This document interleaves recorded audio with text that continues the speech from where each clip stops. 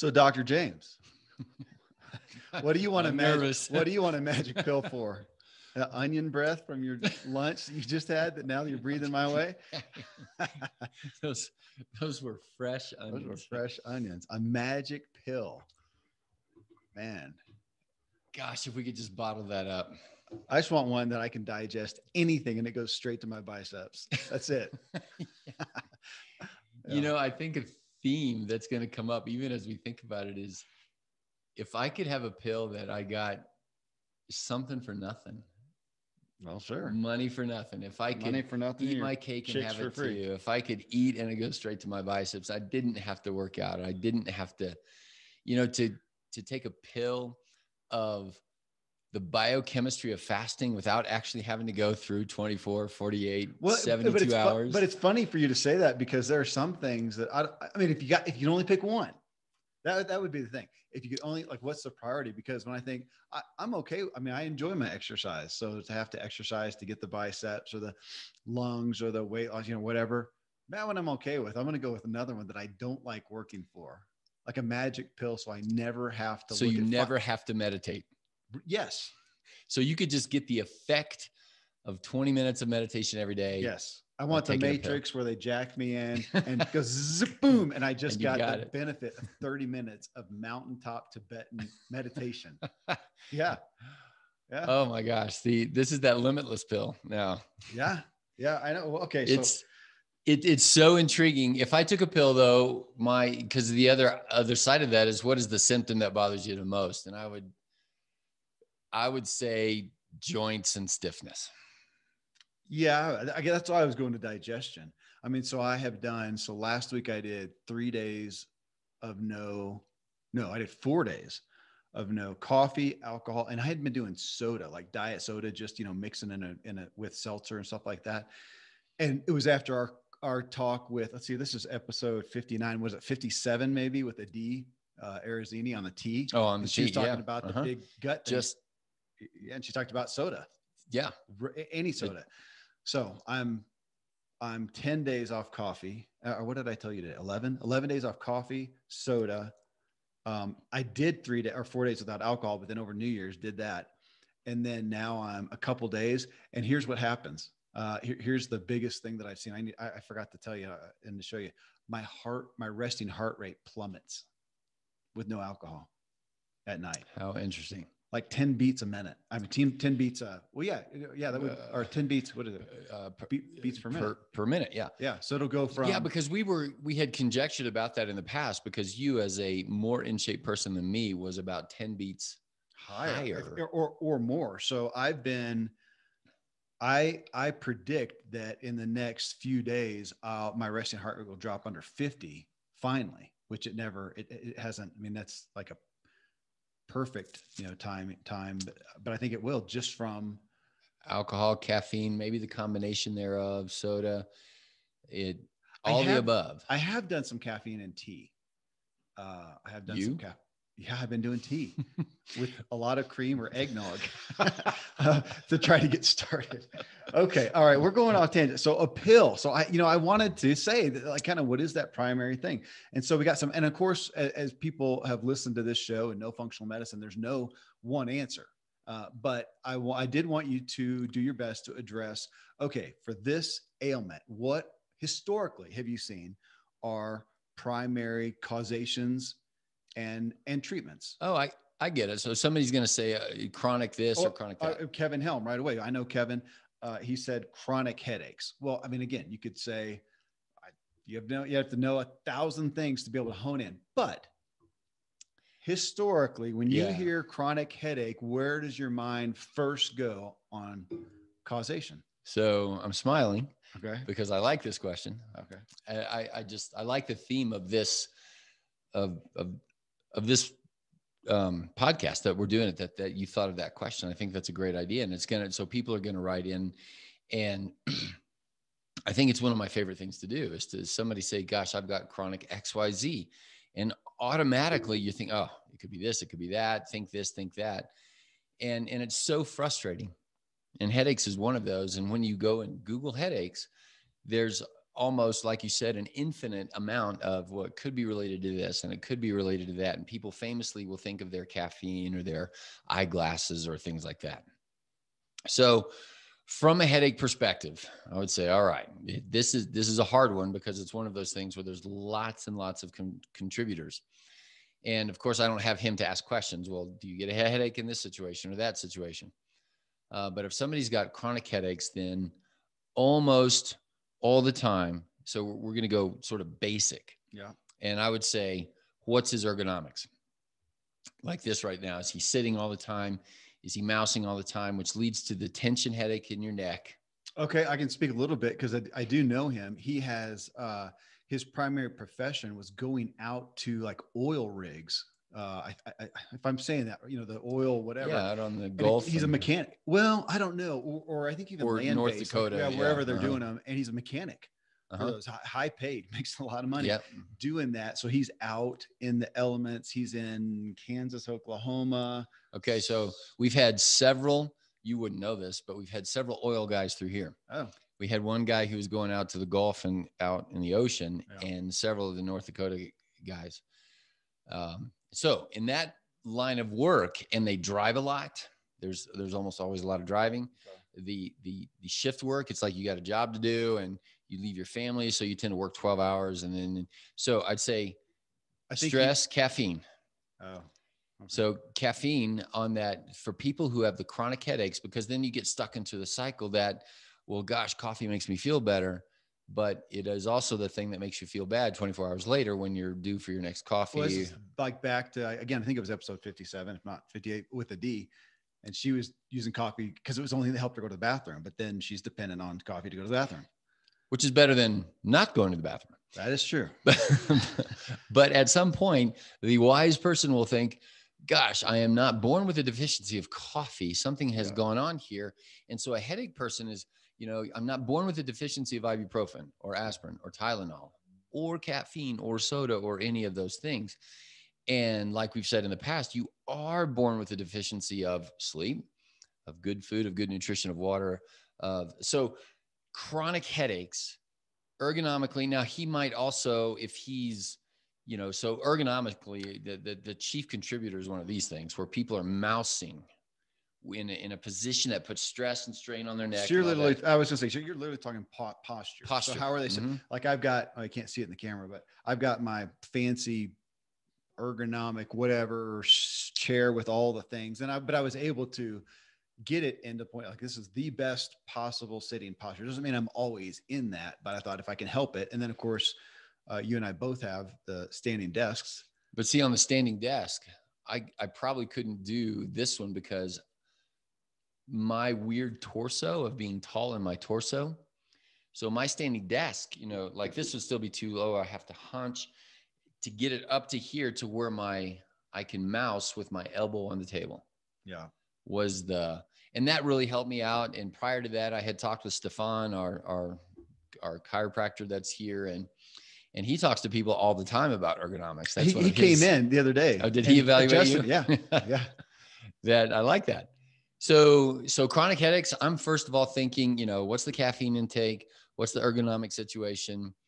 And then after that, it might get a little bit more, you know, problematic as to, well, could it be this and could it be that?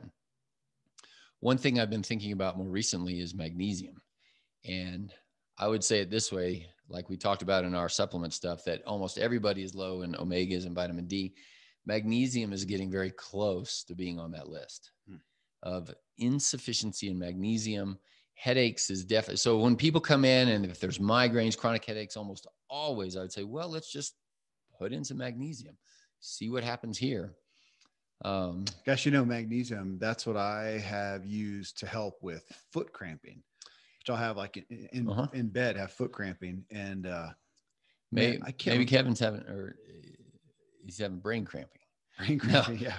So Yeah. magnesium, there's three salts or there's three formulation groups. So there's the kind that helps with constipation. Yeah. So mag citrate, sometimes magnesium oxide, but I would say magnesium citrate. So if anybody's you know moving slow, take some Isn't magnesium that the citrate. basic cheap, Yeah, cheapest stuff? Yeah. yeah. easy to get. Calm is one of the brands, and Calm is is indicative of the fact that it's the exact same stuff that's over here on the constipation aisle, but this is on the aisle of helping me go to sleep and calm down. And it's like, well, why is that? Because magnesium is often used in a lot of different areas in the body. I mean, it is. Uh, the other area is muscle, though. So heart palpitations, and your heart's a muscle, and cramping. So that twitchiness or quiveriness mm-hmm. or just cramping. And so that group of magnesium would be the magnesium glycinate or chelate or taurate.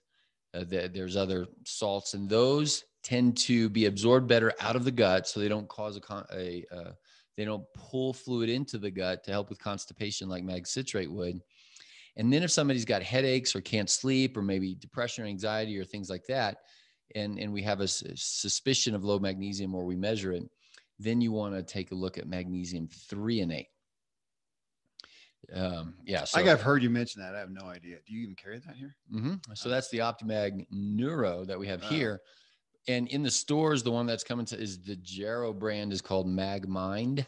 Okay. And that would be magnesium threonate. So if somebody's got headaches all the time, all the time, I'd say I'd definitely play around with magnesium as well. Man, I, I hope, yeah, everybody hears that on magnesium because you like that me needing it for cramping. And if I started off on the first one, the magnesium, what was the first? The citrate. Yeah, like that. Mm-hmm. I don't need that because my stools are loose enough. So I don't need any That's more right. loose. That's right. So that was, and that confuses a lot of people. Yeah. They're like, "Oh, I tried that, but yeah. it just makes me upset." Yeah. And so, and even on the magnesium side, if you do, some people, let's say you're taking that middle group on the muscle side, and it still makes you a little loose. To those people, I'd say, you know, just start low, go slow, push on it a little bit. Try to train in your body to where you can take a little bit more without that bowel response. And do, do, do, all humans need to do that? You know we've had a whole several shows on on supplements. And so for a headache person i'd say yeah. And even if you do the mag mind or magnesium threonate and it tends to cause some looseness over here i'd say okay we'll start with a lower dose and just titrate up. Yeah. Slowly. Okay all right well yeah good eh, you know I, i'll never forget a friend of mine whose wife had chronic migraines and she also had a significant addiction to Coca-Cola. Oh yeah. And, and, that's that's common and and we smile and we laugh, but in the military during those years that that happened all the time and people are just they're like please don't take my coke away. Don't take my coffee away. Just don't and or even harder is they will be on a on a system of don't take my ibuprofen away. Yeah. And so, and this might be him as well. Is I, I I didn't say this at the front, but I'm a little bit, if he's having every people who have everyday headaches, especially if they take medicines, oftentimes it has now become a rebound. Hmm. And so just like with the caffeine, it's the, it's the fact that the ibuprofen is going out of your system that triggers a rebound headache. Oh. So rebound headaches, and, and I look at them and I'm saying, I'm so sorry. You're like on a drug withdrawal at this point. Yeah, you you just you just need a week of headaches. Yeah. But we'll we'll usually say if they're not a caffeine, we'll say take some caffeine. Or if it's a caffeine person getting off caffeine, we'll say take some ibuprofen. Hmm. But have sure. two weeks where you know you're going to stop. Yeah. A week, half the people get through it in a week. Some people are going to need two weeks, but it'll stop. But it, it's it's it's hard. I mean, there's bad headaches. Hmm. Okay, next one. here's here's a, a very complex one. IBS. Donna, IBS. She, she, also had seasonal allergies that seem to be constant year around. So we can, we can go after two. That's two big ones there. I mean, IBS is. I mean, well, that's. Uh, I think IBS is a good one. I mean, oh, and, oh, I, well, yeah, it's a good one, but it, it's one of those where I did not used to. It's kind of like as a kid, I wasn't used to other kids having food allergies. Now they all do you know IBS. I didn't know what IBS was. It seemed like it's well, like many things. It's you know, it's like brain fog. We didn't used to hear that. Now it's IBS, and it almost feels like who doesn't say that they have IBS to some degree. I mean, most do. I don't think well, you do, but most people. I, no, I, I I don't think I do, but I would say everybody's on the spectrum of sure. the potential of of irritation. So where I'd start with IBS, it is now formally a diagnosis, like ICD-10 code of K63 something. And it's just unfortunate because think about the word. What does IBS stand for? Irritable bowel syndrome. So you go to the doctor, say, Doc, my bowels are irritated. And what do they tell you you have? Gut. I don't know. No, do they you? say, I'm so sorry to tell you this, but you have irritable bowel Oh, syndrome. okay. Okay. Right? It wa- it's just a nonsense wa- diagnosis. No, I, I- but I do have a. I was going to ask the question though, as far as gut, because when I hear somebody say IBS, I think, so do you have problems down here? You know, pooping, and is it your bowels or is it your gut? I mean, is that a fair? Because I, I don't. I don't think of myself as having. I think I have gut issues. You know, yeah. So, like- I are you mean, gonna- are you going to clump them together? IBS is bowel. well, IBS whatever. is, is either going to, you're either IBS D or IBS C or IBS mixed. okay. Diarrhea, constipation, or mixed. The classic one But- is But what about the person who just has bloating and rumbling? May not have bowel problems. Right. So higher up in the GI tract, and they're more gassy, more bloaty, more, you know, might have a bowel movement once a day. Everything is fine, no constipation, no diarrhea, but I still have a, a sense of gurgly, something's not right there. And and I would say, you know, the GI tract starts with your mouth, ends with your anus. So it's at what point do you want to distinguish it out? And again, that's the problem with the diagnosis of IBS is too general. Yeah. It's just a, it's in America and in American healthcare system, we have all of these syndromic now diagnoses, Yeah. right? Chronic fatigue syndrome. Yeah. So we got all these labels syndrome. too, which I think, because when I hear about this one, I think IBS, I tend to put it also in there with leaky gut. As far as just a terminology thrown at, you got stuff, problems going on here. And Yeah, unfortunately, leaky gut has lost. It, it gained in prominence, and now it's so common it's losing in its specificity. Oh. So, intestinal termi- permeability is is the word that we would use, and it is not, as far as I know today, it's not an ICD-10 code. So it's not recognized as a definable diagnosis that ICD-10. well, so, I was gonna, so it's probably going to be thrown in if you're pres- describing it to a regular doctor, that's IBS. yes, it, that's what I mean. It's a trash can diagnosis. Okay.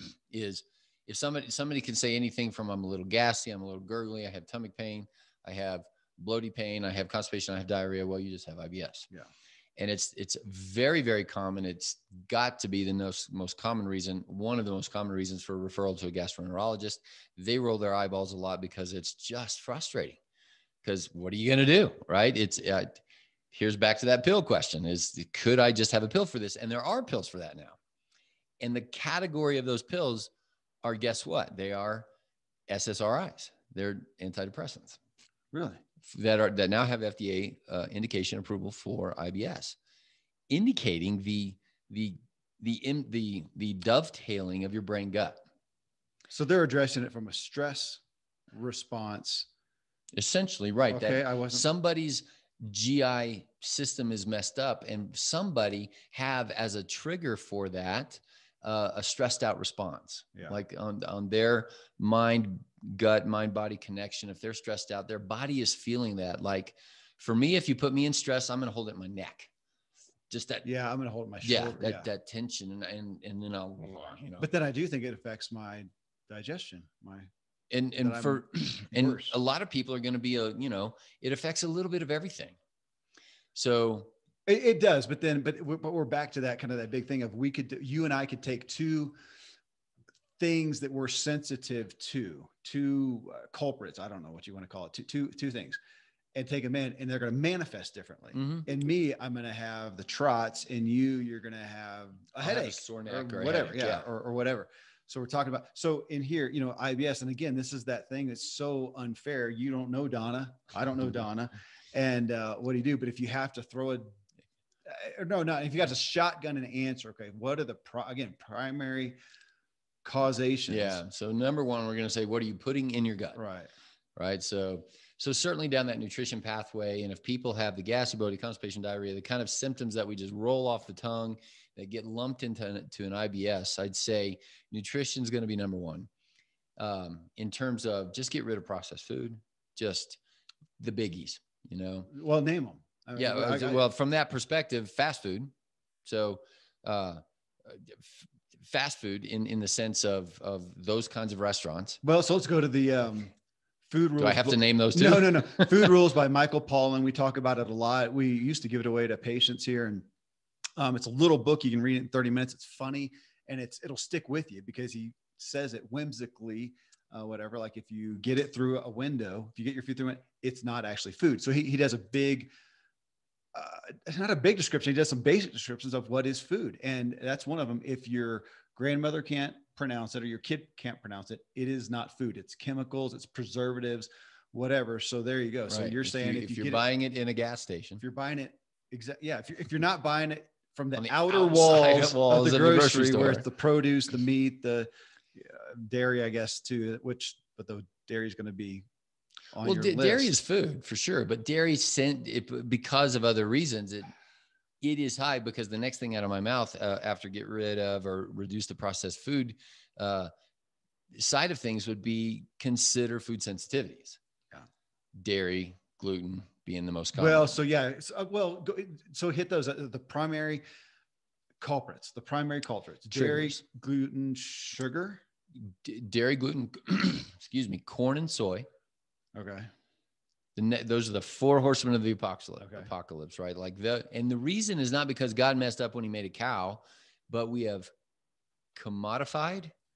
We've, we've, we've created the industrialized food production system. So, yeah. so I heard it said once this, oh, this was Peter Attia. He, you know, if, if, if your goal is to um, optimize food production through amount, price, convenience, and portability, then the SAD, what's the SAD? The SAD diet? Darn. The standard American diet. Oh. Then the SAD is what you get. It's perfect for optimizing cost for commerce, portability. Yeah, yeah commerce, industrialized food production not for, system. Not for wellness. But so. absolutely not for wellness or longevity or vitality or mm-hmm. any of these other things or not having IBS, right? So if somebody then has IBS, to what degree is the industrialized food production system to blame for that? And I would say, like you said, if we're just going to guess, I'm putting it number one. And so then this individual has to decide, well, I, I can't buy my food there, even though it's way more optimized for price and convenience and all these mm-hmm. things, but not for your wellness. That framework and saying it that way through the recognizing industrialized food production system and stepping out of that is so hard. And of course, there's a scale because you don't have your own garden. You don't have a cow in your backyard. You buy your food at the grocery store. Yeah. So you have to just think about it and make choices depending upon what your goals are. So IBS number one, I'd say, what kind of food are you putting in there? And close. And number two, I'd say, what's going on in your mind? So stress at work, stress at home. Um, 20%, this is Michael Pollan, 20% of all meals are eaten where? In your car. More than 40% are eaten where? In front Watching, of one of those. Sure. So now we've got more than 50% of meals that are eaten or I'm your brain is somewhere more. else. Well, these days in post COVID, I, I, well, I, yeah. I, I bet Netflix and the, the, the changing cultural phenomenon. Yeah. My family's done more. I think you'd say your family's done more. In front of the screen, mm-hmm. probably. Mm-hmm. Yeah.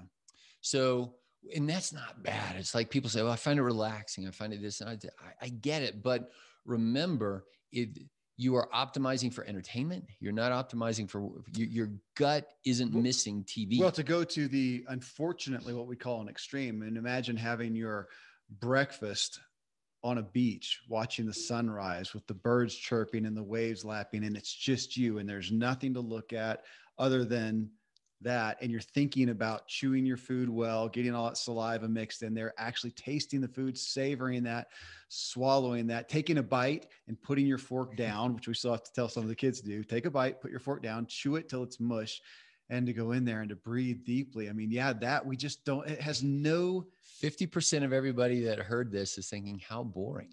Oh, yeah. I could watch a show, I could get some emails done. I, I, I, not saying that's what I do. just, but, but I get it. I mean, I, I've, yeah. I've learned that. And so, you know, us, again, we have the benefit of lunch together, you know, three to five times a week. And we go out in the deck uh, when we, when it's warm enough, look out at Pikes Peak and take that deep take breath. breath. We do the same thing at, well, we do it every single night. We gather in the kitchen. We do our buffet style at this point, since there's so many people and hold hands and pray. And the first part of the prayer is just same thing. Oh, God, thank that, you that we're here. That is, even in the clinic, I am specifically, and you would be surprised at the amount of people that they get it when I say that, and I give it to them as a prescription. I want you to do this. Like take this, take that. But especially with reflux, which is on the upper side of that IBS, with people getting heartburn and that kind of thing, um, and say, okay, as a as a prescription, you've got to prepare your mind and your mind gut to eat. And so take that deep breath as a prescription, put it on a clock, one minute of gratefulness for the food, of contemplating where did it grow, how did it get to you know that logistics of the commerce? So how did it get to your table? And the which is going to sound hoodoo guru and you know mystic to some people but my gosh how if you got a bible go back and they sat down with the food and they thanked the provider that created the food and that allowed them to have this abundance that some days they didn't have any of and they were grateful and it was an event we have food which is another missing piece in our own mindset and awareness. We don't have any days behind us where I had to do without. Mm-hmm. Not one single day have I been deprived. Yeah. When has humanity ever said that for multiple generations in a row? My parents weren't deprived, my kids aren't deprived. That's my great no, my grandparents were working in the depression, but they had jobs. They really they did pretty well. Mm-hmm. So maybe great grands. Well, right, right now, if you literally in our town cannot eat, you can walk down to some place that'll hand out food, the worst possible food. But did I tell you about Ryder in the high school? Huh. So oh wait a minute, yeah, about the the lunch the, foods or something. The well, so the confusion with COVID in the public schools, and you know they're they're set up to provide meals for some families and that kind of thing, but the kids aren't coming, so they have all this food and all this money. So right before winter break, he came out, no kidding, with the natural grocer size grocery bag full of hot pockets, mm-hmm. the worst possible everything. Mm-hmm. And and that's their normal lunch fare at the school. It's, you know, reformulated pizza and burger and hot pockets and those kind of things, which is this is processed food. Yeah. And so even in our our our system is now delivering that through the schools because it's optimized for cost Mm-hmm. convenience, portability, and, and logistics. So I'm not looking at the school and saying, shame on you and how dare you. I'm looking at our entire culture and system. And this unique individual named Donna has IBS mm-hmm. and somebody else has something. And, and that system is, I would say, the number one contributor. And then the second one is the fact that we, we don't eat with preparation to eat. No. We eat on the go. We eat with without a well, mindset. and then we can get into you know the the amounts. I mean, how much are you stuff? How much are you taking in a bite and trying to swallow down your gullet? How fast are you doing that? How you know we we eat like pelicans. We, we eat like there's not going to be another meal for some reason. Right, like somebody's going to take uh, it away from. Yeah, I, I tell the kids sometimes. Okay, guys, seriously, I spent two hours making this it tastes good. You're eating it so fast, it's almost like you don't want to taste it. It's it's like this is castor oil. This You're trying horrific. to get down without. T- no, it tastes good. Well, then taste it and slow down. Uh, you know, yeah. So uh, so many nuances of food and digestion. And you mentioned, you know, stress. What is the state of Donna? And we're not picking on you, Donna, but just you know, what what is the state of your anxiety overall or around meal times? I mean, my gosh, there's some people that yeah, mealtime is stressful because you got to go be with whoever it's at the workplace or it's eh, fear of food or I was going to say, let's, let's say one other layer of stress that's out there is for people who are trying to eat right. Yeah. Yeah. And, and they aren't doing fast food, but there's the sense of, I, I don't know there's if i am I am eating right. Yeah, like, there's a the right fear of food. Is this one gonna, yeah. is this going to hurt me? I mean, that's what a terrible place. It's to... becoming a diagnosis called orthorexia. Have I told you that one? Uh-uh. So anorexia. Yeah. And think of the word a as atheist, like I don't believe in anything, and and the rexia means hunger. So these people are no hunger, anorexic. They don't yeah. eat. Now that's a psychological diagnosis, but orthorexia, orthorexia, think orthodoxy. Yeah.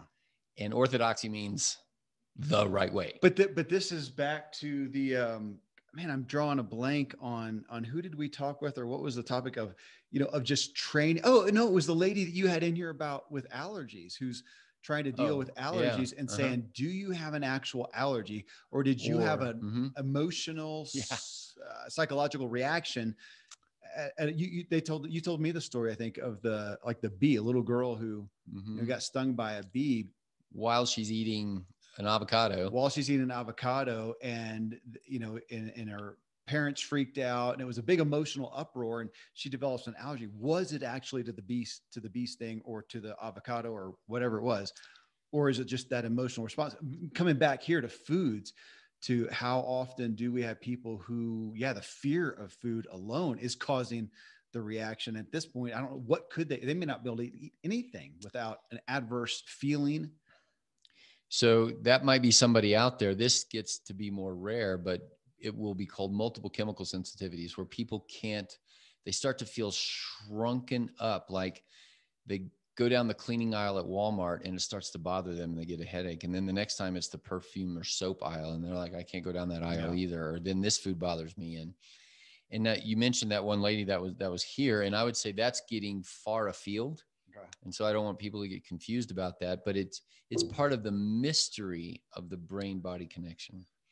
And go flip it around the other way. Think of the joy of food. Yeah. The emotional release of birthday cake and ice cream and Christmas cookies and whatever happens and the the warm fuzzy smells of of all of that and how much joy that it brings that that the which I would say when it comes to food, I would put that number one. Like the reason that God gave us this blessing is community, Mhm. fellowship, and and then It's a number, drug. I mean, it causes reaction. I mean, it, it's it everything is a drug. I know, by okay, that, but it, but it causes a positive generally. sure. I'm looking forward to it, and I don't know that it tastes that. Whatever I'm going to eat here shortly, it's just I put it in mouth. I feel good. It's a dopamine hit. I'm I'm enjoying it. I, Well, and and I've got something to do afterwards, and I horked it down. You did hork it down. yeah, hate, hate like a pelican there, and um, uh, it the so this is one of those mysterious areas, and then to bring it back to Donna or somebody who says, yeah, yeah, yeah, but I have IBS, I've got gassy bloated constipation diarrhea. Uh, what do I do? And I'd say, well, think this way. Begin to shift what you are eating without fear. Lean into it.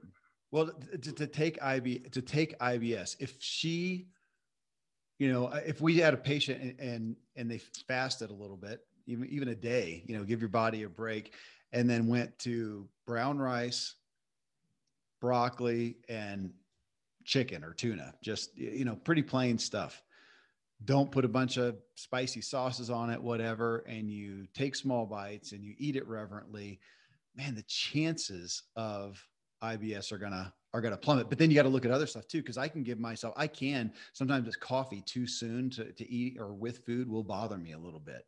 You know, so here's an outside again. What outside Triggers. triggers Mhm. you know are there uh, to look at? And then yeah, you've taught me just to just stress again overall. Just if you are a, a high not even anxiety because that sounds negative but just a high energy person. Sometimes i tend to be that way and it's not out of anything negative. I'm just i got a lot to do. It's fun. I'm gonna go exercise hard. I'm gonna work hard i just have fun. But i'm i'm constantly running high and i think that causes me intestinal strife by not and being bringing relaxed. it back to your heart rate if you were also contributing to that with you know caffeine over here alcohol and yeah. uppers and downers basically Sugar right? you know and the yeah. confusion of that into the system and it's just responding to what you're telling or, or, or and again this get now we can get into the everything if i'm also trying to run on four hours of sleep a night Mm.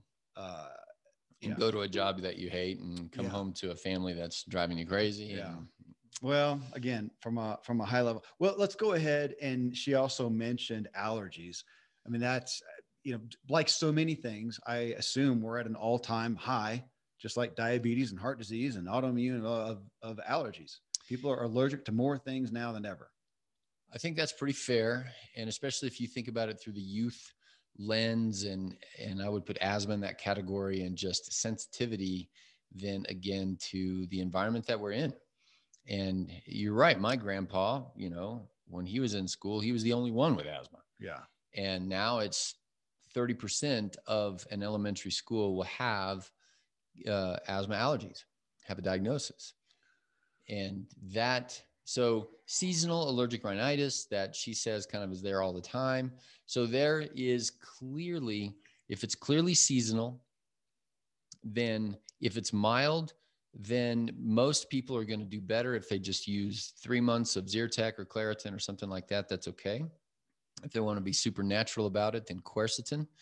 There's lots of formulations of quercetin and bromelain and papain and those kind of things that are out there on the on the supplement side that tends to have helped my family as an allergy family, and a lot of that is genetically related.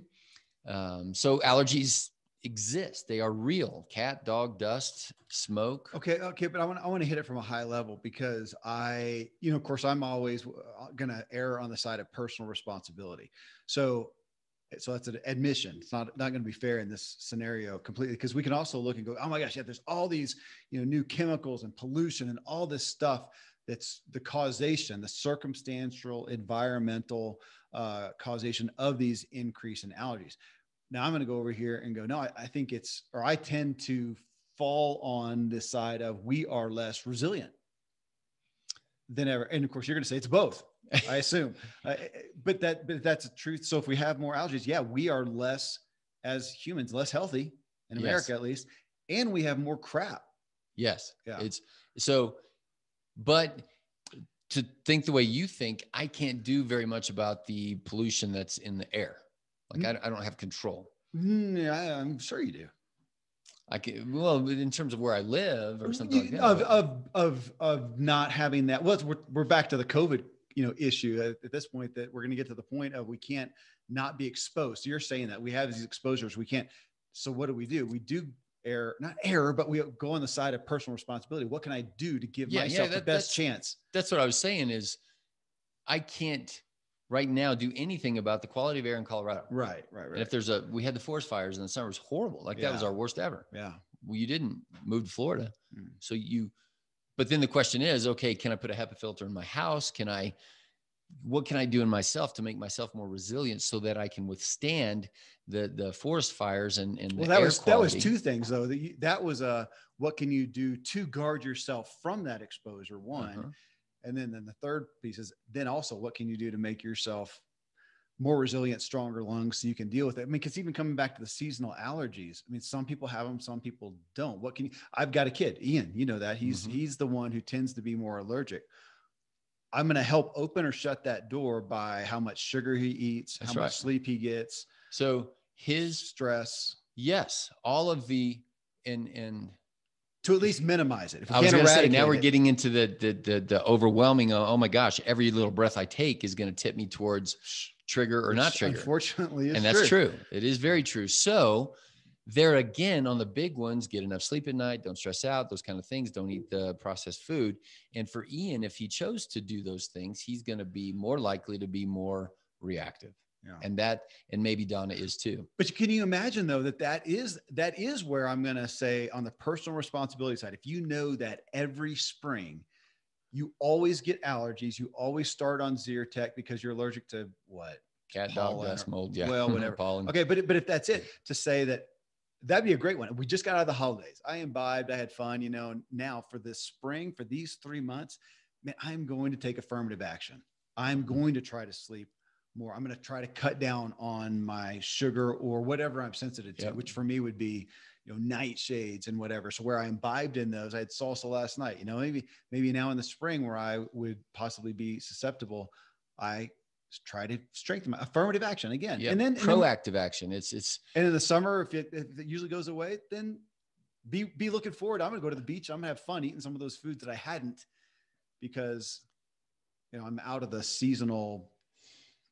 Uh, it's it's it's the mitigation between risk and reward of, of nearly everything. Yeah. And you like you use the example of how how fast are you going to drive through town? You might get a speeding ticket if it was just left up to you because you think you drive so well, you could do it on 60 miles an hour and I it'd do, be okay. I do drive that well. and if you had a dying kid in the back seat on the way to the hospital, you would be mm-hmm. justified. But because the reward and the risk mitigation and all that, you you choose a pathway. I think most Americans automatically in the 99th percentile drive that way and they don't eat that way. Mm-hmm. They don't go to sleep that way. They don't sit down to a meal that way. They don't uh, mitigate their relationships that way. That's what that and that is from a soapbox standpoint. That is so that is frustrating that we as a culture we're in a non-responsibility culture and i and we see people and i know you do and it sounds bad because it sounds judgmental and all this stuff but we i can take myself out i and i do sometimes at With least I, choices. I'm gonna at least Yeah. admit it and not give my power away to something else. So when we see somebody go, yeah, man, every every uh, spring, man, it just it takes me out, man. There's times I can't go to work. I mean, it's actually hurting my income and whatever. I sure hope they come up with a pill, pill, at my doctor's office that's going to help this. Yeah, because we don't have any normal doc generally saying, hey, what's your sugar intake like? What's your stress level like? What's your sleep like? What they just prescribe So- a band-aid. a great example is uh, a, a mutual friend of ours, Mark, and a genetically derived cholesterol risk. Okay. And So he has a genetic, he has a loaded gun he's born with a loaded gun. that I don't have, and that's And I don't have and either. I don't have a bolt in that chamber. He does. He- Right.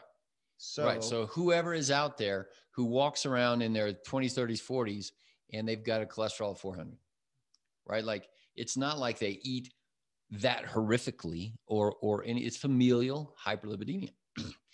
That's a genetically predisposed. You know, they've already begun their atherosclerotic process, and so then over here, where I said, "Oh, and your insulin is a little bit high." Now, normally to a, a normal person, we might be talking about, you know, don't get diabetes or something like that. And I said, but to you, this isn't a grade of a B, and this is a C minus. It's because you've already got this loaded gun. You can't jiggle this gun around. You can't uh, put it. That's risk reward mitigate. It's not worth the risk of living life in such a way that this goes up that it's going to pull the trigger over here.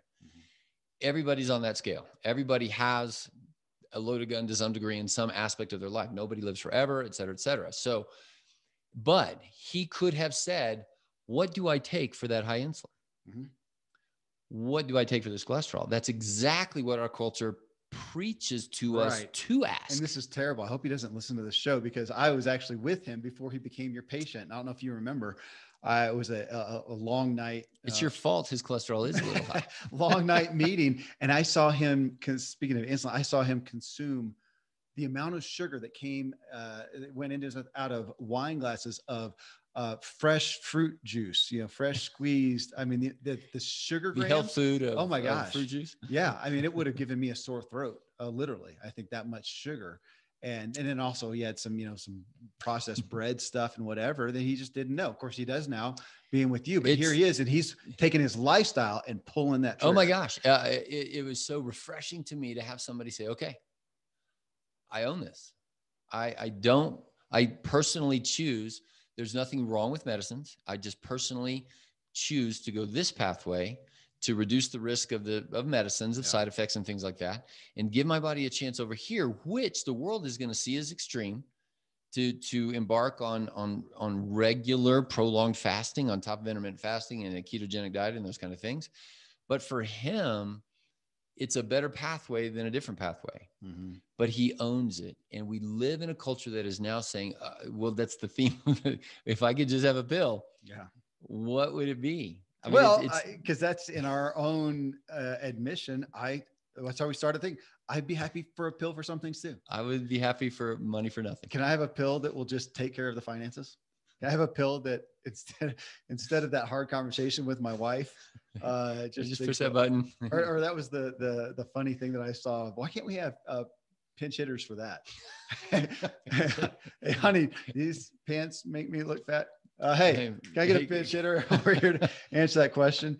I mean, we do. We want a pill, and that's the culture that's killing us too, because we've taken away personal responsibility. So back again to you know her issue of allergies. You know what, you know what are some top? oh, well here allergies are, are classic it's not my fault i'm allergic to cats or, so- or even worse, the trees. What can I do the- about the the, trees, that are yeah. outside my office window? So I would say you're right. It, it you can't control the trees, and you can't control how sensitive you are. Just like you Well, can't wait, control the tone hold of on, your hold skin. on. You can't control how sensitive you are. uh, you, how sensitive you're born. Okay.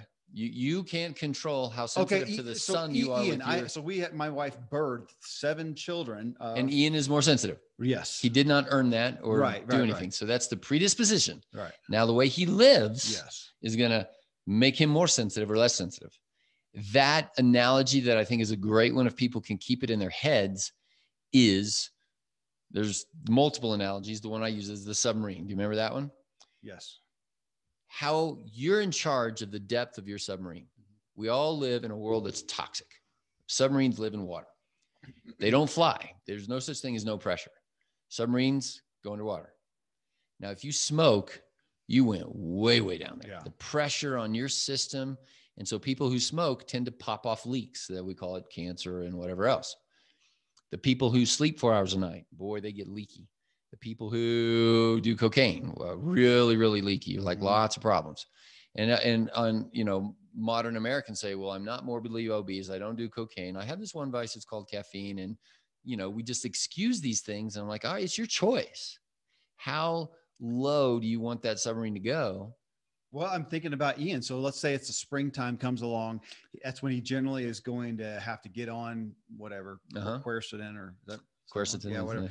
and uh, and so here we are all living, and he, if we're, if our family submarines are down here at this level, if he, want, he wants to take care of this, thing, again, as you said, it's not his fault. It's maybe it's unfair. Bad Either luck, way, if he wants to yeah. keep his health, he's going to have to stay up here and not stay up for the late night uh, movie, not indulge in the third piece of birthday cake. Right. So he has to live at 25 feet while everybody else is living down Yeah. there at 50 feet. and that's where we teach him. And, and if he wants to come down here and, and live, then he's also going to suffer the consequences of that. And I'm grateful he knows that. Now he's a teenage kid, and sometimes he does choose to go down and have more pressure and, and suffer from it. But I'm so grateful he at least knows. That's right. You and I have talked about that a lot, just awareness and knowledge. What I'm seeing though is we are in a culture that does not know. And now we're in a culture, remember we talked about that word post truth? Yeah. We are now in a culture that some people, now we have to pick which word, will not know by choice. Okay. I, I, I will not see that. Oh, right. I choose not to see that if I eat more sugar, processed food, that it's going to lower my threshold and I'm going to get more allergies or asthma. Mhm. And now, and now they are preset to it's not my fault. They almost can't take ownership because they don't see it. Mhm. And I'm I'm stymied by that with some people. Like if it sort of goes back to he who has ears to hear Right. hear this or he who has eyes to see this it's so hard and i think not to put too much generalizations on gen z but you know those are our kids that's who we're growing up with and i'm i'm i'm seeing that and then even on the medical side where it's well it's it's not my fault. It's the way that things are Yeah. and the government owes me this. The word of entitlement is health care whatever that means an entitlement a right. And i would say sure is well-being a right? And i say no that costs a lot of work. So let's go. We'll, let's end on this for this one. We'll, we'll continue this magic pill and get through some more of the questions. But on this, you know, going back to Ian. So my son, my son, it just turned 16 year old son, and he has had more allergies. If, if the kid could get, if the kids are could, could get sick, he would get He's sick. get. Um, he has more allergies. He's real pale skin, more so than the others, susceptible to the sun. Um, right now, it's so terrible. He's got acne uh, more than any other kid that I've had. So he's here with his brother, who's 15 months younger, has none, and he's got you know a decent amount, and that's unfair. Let's just say it. That'd be culture. So there's his loaded gun. That's not his fault. Um, maybe it's my fault. Uh, but either way, it's not his fault. So it's unfair. And if he gets judged for that, I think this is where we get to the cultural aspect where you judge somebody for that. He gets judged for that. I sit here as his father and go, Kate, or go, Ian, and, and I berate him for not being as healthy as his sibling. That is unfair. So that's where we get a lot of this feeling of people who are, I'm not going to accept any blame responsibilities. It's not my fault. That part's not. But he is better off to accept as much responsibility. before you go to the next one Okay. say all that through the lens of being overweight Yeah. Okay. your youngest daughter Yeah. Yeah. is and there again, if you had shamed her, Oh, my youngest daughter, and so uh, uh, you know, for disclosure here, she's uh, adopted and had malnourishment to a significant degree in her first four years, and so now over the holidays, when we all imbibe, and I look around, and you know, maybe somebody says I, I gained half a pound. I mean, you can't tell. You can tell it in her. can you? Oh my gosh, she she, She gets it- pudgy. she gets pudgy in the middle. Mhm. I think in addition to bloating, but she gets she put weight on because and she she ought not at that age the the metabolic flexibility ought to be and how much of that is related to those oh first four she had so much less than everybody because we curtail it. She Uh-huh. had so much less than the norm. My family had more less than the norm. She had less than that lesser norm than all the other kids, and, And yet still. still, yeah, and that is not so sad. fair Uh-uh. frustrating It's we infuriating to me. as her parents you would it's infuriating it's a and that whatever percentage of the of our population is now born into this culture that has now shifted. Now now granted we don't want to go into a shame culture about overweightness but now we've gone into the accepted culture. Remember we talked about the we- pictures? we have it back to where you were just at though we do have more people coming into life with uh, more propensity. Yes. Less that the they genetic now I, this is getting out of my field and so the words aren't going to be the right one but if we call it genetic drift or if we call it genetic weakness or genetic Uh-huh. f- f- sort of fraying at the edges we are more susceptible to more But- things than ever before then it's the, but it's the double whammy. We have more people who actually have cause to to feel like this is not my fault. And we have a culture who's saying it's not your fault. And so we have a, a generation of powerless people. I that's where i was going. Okay. That's right and i and i we you and i are gen uh, x right? And not that any generation is better than any other generation. We just use those terms. The millennial gen z culture that's come in through also the influence of the political thing the financial crash in 2007 8 9 uh, this is their this is the war the 9-11 that's the war these are the defining moments of their childhood. Mhm. and the theme through all of that and now think of 2020 and that what's the defining moment? It's covid. Mhm. What was the response? It was a worldwide global response. Who was responsible? The government. Uh, not anybody but self. Not me. but but which to yours is i'm you are not actually responsible for covid. You had nothing to do with it. No as far as we know. I am responsible to a degree on how my body's going to respond to covid. Yeah. And that's where i'm worried about our younger people because they're not taught that well and so back to ian and my you know youngest daughter they're being taught that man i'm so sorry i'm so sorry that's, That's so right. unfair but from this point on the responsibility is yours to deal with it as well or as unwell as you want That's and right. to reap the rewards or the consequences of that That's right. I in in our lead flow process for the business for people who want to come in and have a functional medicine doctor, the I say that word I'm so sorry so often. Yeah. You are in a pit. You didn't jump in the pit and I am I am so sorry. yeah But there's no pill. There's no clear algorithm out of this. There is only steps forward in a certain direction and one of the things that has to happen in order for people to make progress down that pathway is they have to own it yeah and that concept of ownership especially for the young ones Well, you know, and- I and we can we need to continue this this uh, getting through other people's comments on a on a next show. But and what is the magic? There are to play with it a little bit.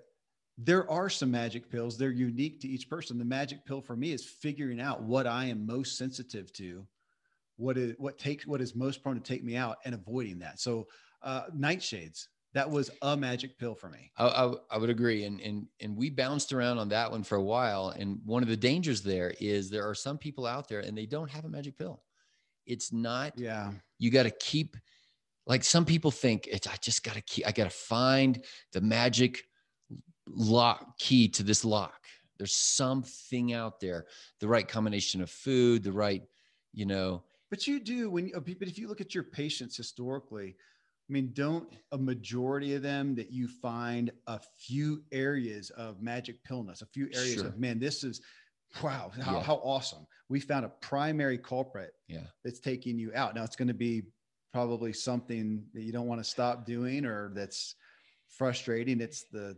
stress, it's the food, it's the whatever. There's usually the what I would call nodal points where lots of things are coming in together. Yeah. It's a node. Well, and, and like the cascade effect too. You're this, we see that it's causing this, it's causing this. That's right.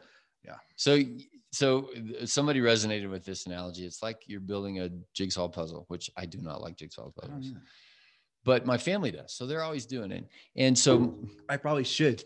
It'd be like meditative. It'd I'd be good for so boring. I probably should. I, I'm bad at it. Like I just I don't find the pieces. Meanwhile, my wife is putting in piece after piece after piece. I don't. I don't know that I agree with that. I think that you're like me, are just so impatient. You want a And, uh, result quicker. I don't. I don't like doing crossword. I should do it while I eat.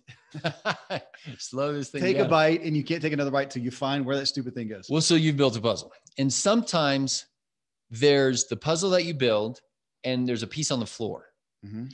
and it's the dog's back, right? It's not a critical piece. You, it's not like you can't figure this thing out for what it is.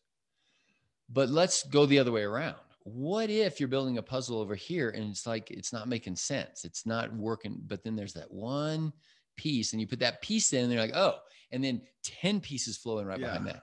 That's kind of how I, I, I think for And you have that experience with patients a lot. Sure. Yeah. And for like with you, that, that nightshade thing, boy, that was a piece. And then after that, six other pieces fell into place. Yeah. So, so it's very difficult. Like somebody else over here can, and I, I would be like, you know, quit worrying about that one piece. We already know that's a dog. You can live life without that puzzle piece. It's an imperfect picture or whatever else, but you've got a big empty spot over here. But it sure feels better to look for that piece Yeah. right? Like people hate to have a, you don't Yeah. want to build a puzzle and have one piece missing. Yeah, yeah. So our, our, our tendency is to go look for that thing. And a lot of times it's not, it's, it's not as fruitful as you think it's going to be. Yeah. Well, and, and I was I thought you were also going to say, I mean, there's also points where we have brokenness that just can't be That's fixed. right. If you, you have, your leg chopped off, it's Yeah. going to be chopped off. I mean, you've had some patient, I imagine, who's done everything right, That's right. taken all your stuff, and they still need whatever medication, or they're right. still not And even Ian. Yeah. Even he could be the best he could possibly be, and he still needs some Zyrtec. And I'd say, well, at least you didn't need two. Yeah. right. You ha- you cannot. We're not talking about optimum wellness where there's no, where there's perfect optimumness. Yeah. That never exists. Yeah. So it's that wise leaning, and this is where the teenagers have trouble. It's like, well, is it worth my effort?